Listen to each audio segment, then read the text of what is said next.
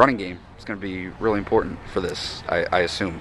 Yeah, I, I, would think so. I don't know whether we can change a whole lot from what we usually do. I mean, we're uh, we're a football team that we try to keep a 50-50 balance, and uh, I would think we try to keep that again again this time. But uh, they're so explosive on offense that we're going to, you know, old adage is, you know, you got to keep their offense on the sideline. Now, whether we can or not, uh, we're going to try, but uh, ho- hopefully we can move the ball on offense. A, a week or two ago, I guess at this point, Silas said, said that his collarbone was sort, still sort of off and on. That you know, some days it acts up, and some you know other days it's fine. What what's his status right now? No, I think he's fine. Uh, hasn't had anything. He's done everything that uh, we've asked of him in practice, and uh, we don't even give it a thought, really. Okay.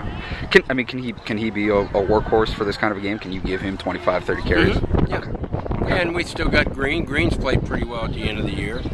You got Steph and uh, Curtis Dukes played well early. You know, I, I think, uh, and Derek, Derek Day, uh, the other kid, uh, you know, has practiced well. So we got some kids that if something uh, might happen to Silas or we want to go play a couple people, that we feel we can. Matt at quarterback. What you know? What what's the latest on? Uh, just you know, probably about what Tommy said earlier. It's day to day. We got to, uh, you know, it's in the doctor's hands, and uh, and they'll do the best thing for Matt and for Penn State. Is that is that a tough spot for you guys to be in, or do you feel comfortable just because Rob played so much already? Oh yeah, no, I, I don't think. Uh, you know, I, I- obviously Matt was our starter for a reason, Right. or we felt for a reason, and uh, but still, we have confidence in Rob going in there and playing well and uh, making plays for us. With with you know, obviously you had such a tumultuous end of the season, and then there's that time off.